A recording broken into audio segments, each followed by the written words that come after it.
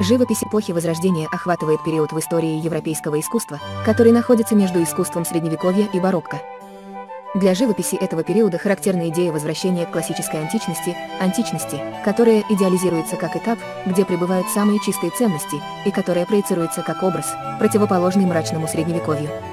Среди новых ценностей, появившихся в этот период, выделяются следующие – Антропоцентризм признает человека единственным ответственным автором и абсолютным действующим лицом судьбы, своей жизни и истории, отодвигая средневековые теоцентрические идеи на второй план.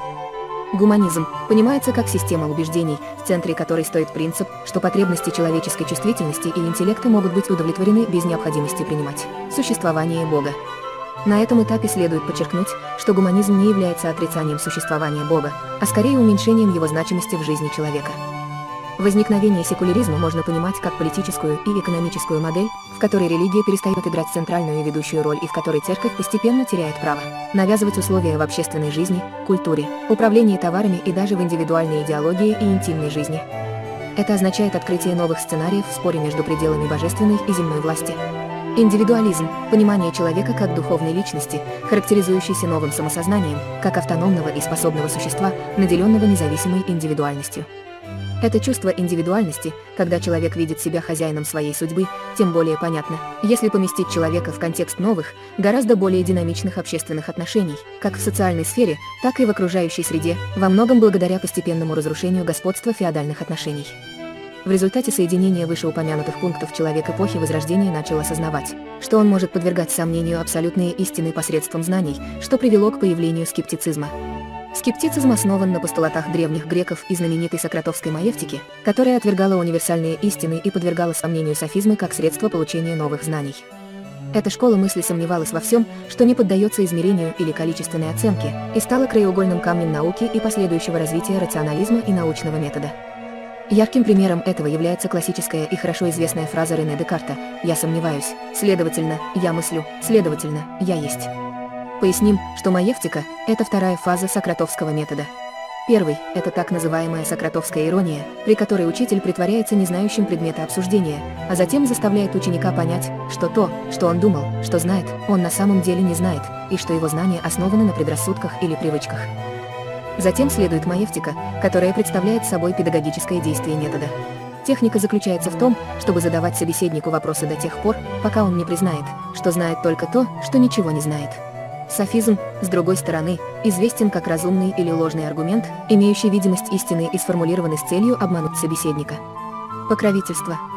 Меценатство следует понимать как защиту или финансовую поддержку, оказываемую культурной, художественной или научной деятельности. Покровительство было ключевым фактором экспорта идеологической модели элит того времени в рамках новой, гораздо более динамичной экономической и финансовой модели, основанной на торговле и далекой от феодализма, основанного на владении и эксплуатации земли. Италия считается колыбелью живописи эпохи Возрождения.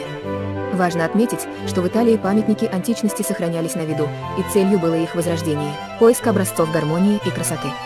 Кроме того, в Италии было множество экономически мощных городов-государств, таких как Флоренция, Неаполь, Венеция, Генуя, Милан и сам Рим, где проживали действительно влиятельные семьи, которые также были покровителями искусств. Зародившись в Италии, Ренессанс постепенно распространился по всей Европе. Существует ряд характеристик, которые отличают живопись Ренессанса от средневековой живописи. Эвокация античности с чувством идеализированной красоты.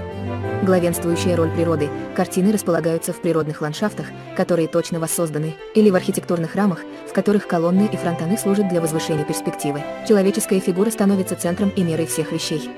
Владение перспективой и композиционными приемами. Были использованы эффекты света и тени, такие как кьяроскура, что привело к появлению новых техник, таких как сфумата, эффект тумана, техника, в которой преуспел Леонардо да Винчи. Почти все работы были выполнены маслом. Если в средние века живопись была почти исключительно религиозной, то в эпоху Возрождения появились новые темы, такие как мифологические, аллегорические и исторические сюжеты. Обнаженная натура появилась не сама по себе, а в рамках картины природы. Поскольку католическая церковь была одним из главных покровителей того времени, религиозные картины продолжали писать. Для просмотра других исторических видео посетите мой канал в описании видео. Далее видео «Особенности живописи итальянского возрождения».